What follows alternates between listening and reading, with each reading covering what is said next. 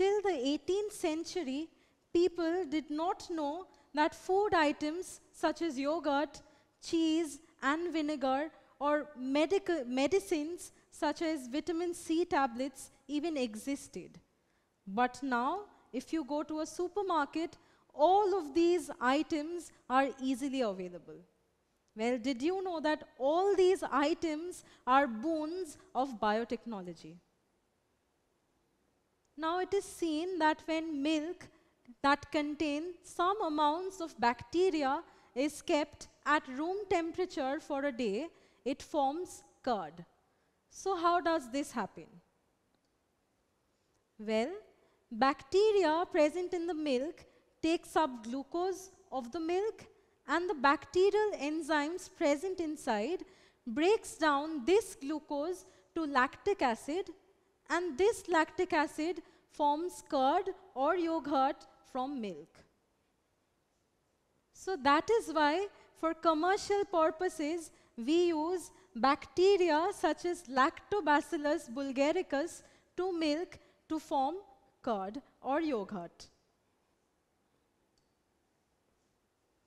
Now, did you know that cheese that you so love is also an item of biotechnology? Yes. Milk is first acted upon by bacteria such as Lactobacillus bulgaricus, which converts it to yogurt. Now, next process is this yogurt is salted. Now, when salting is done, what happens is the bacteria present inside the yogurt loses water from its cell because of the high concentration of salt in the yogurt. This happens by the process of osmosis, which, which is the process of transportation of water from a high water concentration to a low water concentration across a semi-permeable membrane.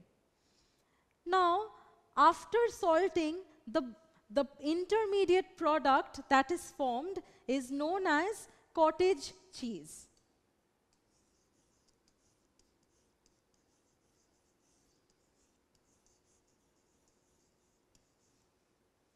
To this intermediate product, different kinds of microorganisms such as fungus are, uh, are added and these fungi helps in ripening of the cottage cheese to form cheese.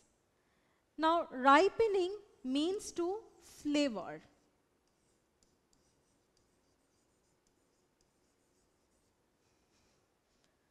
So, by this two-step process, milk gets converted to cheese and a byproduct is formed which is also very useful to mankind and that is vitamin C.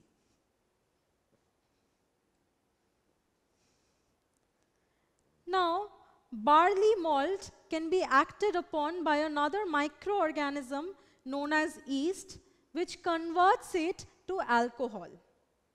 Now, when this alcohol, such as beer,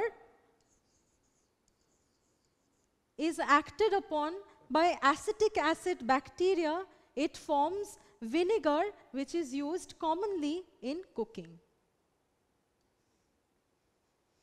So all these items are because of biotechnology. Biotechnology has made human life very easy.